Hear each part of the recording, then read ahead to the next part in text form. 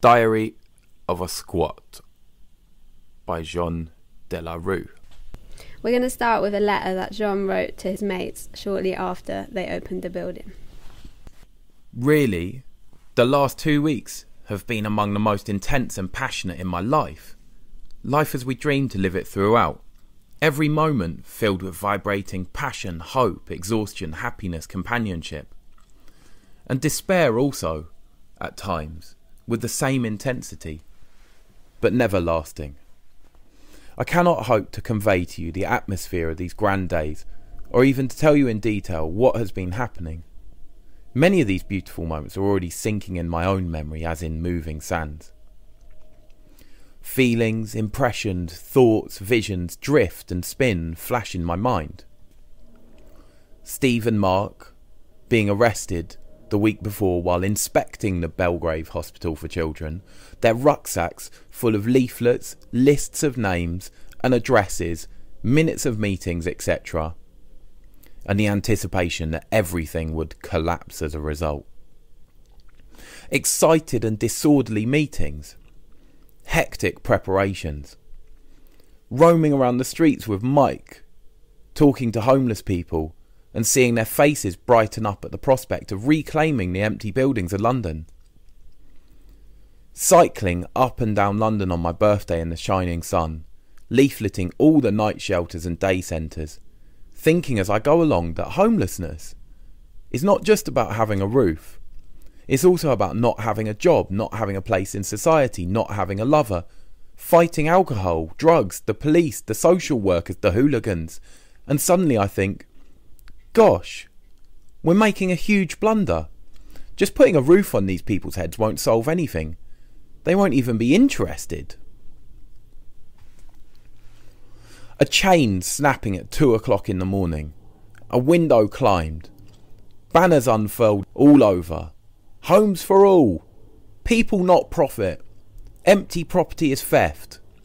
People staring at us from the street, from cars, from behind shop windows. The relentless tension of the first day when we were visited by the police, seven fire engines, a number of alcoholics, drug addicts, epileptics, prostitutes, crooks, journalists, a member of parliament, a weightlifter, a not too friendly gypsy who said that he and his friends urgently needed a place to park their caravans and they would come at midnight and if we tried to stop them they would break every one of our bones. A bunch of guys who claimed to be IRA terrorists and assured us that they were on our side. A loony procession of all the misfits our scandalous social system has thrown adrift, battered, cheated, imprisoned, marginalised, but without making a dent in their humanity, their kindness, their humour, and their courage. Gloria, filling her cup with soup and then filling it again and then filling it again without noticing that it's all dripping on the floor. Patsy, the drunkard, the fighter, saying it was the first time in years that he hadn't drunk for a whole day because in this place he had found a family and something to do. If only clearing the rubble first floor, then second floor, then further up, attending to journalists in between floors. Later he started drinking, but he still shows amazing restraint in never getting rowdy inside the squat. Steve, the plump beggar, roaming around with his Walkman plugged into his ears, gazing at the distance with an absent smile after seeing his face on TV. You'd never think that he'd just been to court for threatening to murder a policeman and so many other forgotten, rejected souls who have so much to say, so much to give. A jazz band playing in the darkness and the cold of this derelict building until the fingers are too stiff to play. The entry group feeling depressed and worn out, except Mark and me, after the first day, and deciding to surrender the building before it goes up in flames and blood. But then the homeless deciding to stay on and you should see them getting organised, breaking fire escapes open, helping each other, clearing the rubble, putting banners at the windows, and above all, holding long meetings when you hear them saying the most moving things about how they've been raped and put to prison and driven to prostitution and alcoholism, but also about how they now have a home and how we can live together as one family if we help each other. This is where I realised that my fears about the fact that a roof alone would not solve the problem of homelessness were quite wrong, because in the Belgrave squat, people have found not only a roof, but also friends and something to live for. Help coming from all sides.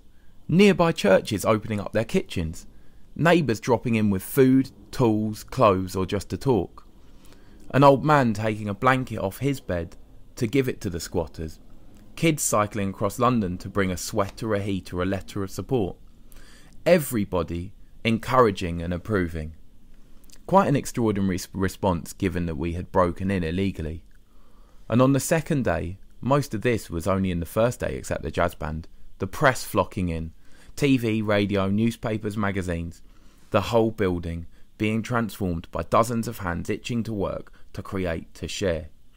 The numbers and the sense of community growing day after day. As I'm taking my turn at watching the gate under a beautiful starry sky, exactly three days after the whole thing started, I can hardly believe what's happening. And what will the future bring? I'm not sure, but so far, at least, there's hope. A lot of hope.